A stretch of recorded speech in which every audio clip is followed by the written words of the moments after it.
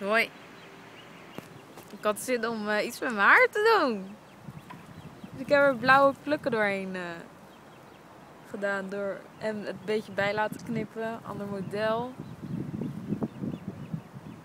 Ik had er gewoon zin in, weet je. Maar ik vind het echt heel lelijk geworden. het is echt heel lelijk. En iedereen zegt dat het mooi is. Ik bedoel, what the fuck was I thinking?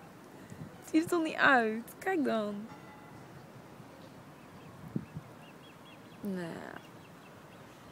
Maar gelukkig valt het allemaal wel mee. Bij Lisa is het helemaal... Uh...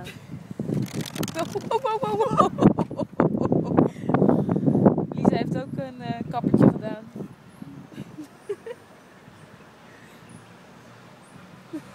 De huidskleur friste lekker vanop. Sorry, het was een grapje.